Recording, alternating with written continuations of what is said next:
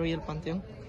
Pues muy triste, ¿verdad? Muy triste, incluso casi llorando porque aquí están mi hija y mi nieto. ¿Desde hace cuánto está su hija y su nieto aquí? Tiene como cuatro años, va para cinco mi hija y igual los dos murieron con un mes de diferencia. ¿Y de qué fallecieron? Disculpe. Mi, niña, mi hija murió de cáncer y el niño tenía una enfermedad muy grave.